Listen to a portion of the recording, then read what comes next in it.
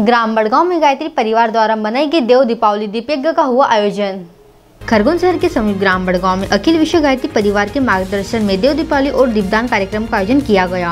आयोजन का उद्देश्य पूज्य गुरुदेव पंडित श्री राम आचार्य जी के युग परिवर्तन अभियान अंतर्गत भारतीय संस्कृति और आदर्शों के माध्यम से समाज में आपसी प्रेम और भाईचारे को बढ़ाना है, ताकि संपूर्ण विश्व स्वर्ग के समान सुखी बन सके। गायत्री जन स्नेहलता गांगले और दीपक बार्ची के द्वारा मंत्रोच्चार के साथ दीप यज्ञ किया गया। कार्यक्रम में नन्ही बालिकाओं के समूह द्वारा नृत्य की प्रस्तुतियाँ भी दी गई प्रथम, द्वितीय और तृतीय स्थान पाने वाले दल को पुरस्कृत किया गया। आयोजन में समाज सेवी लखन कुशवाहा, सरपंच अनिता बिडाड़े उप सरपंच जीतन बिडाड़े अनोखी लाल ढामंडे महिला संगठन की बनारस बाई पटेल शारदा बाई कुशवाहा सहित मात्र शक्ति शामिल हुई। Digiana news Manipur Badgaon.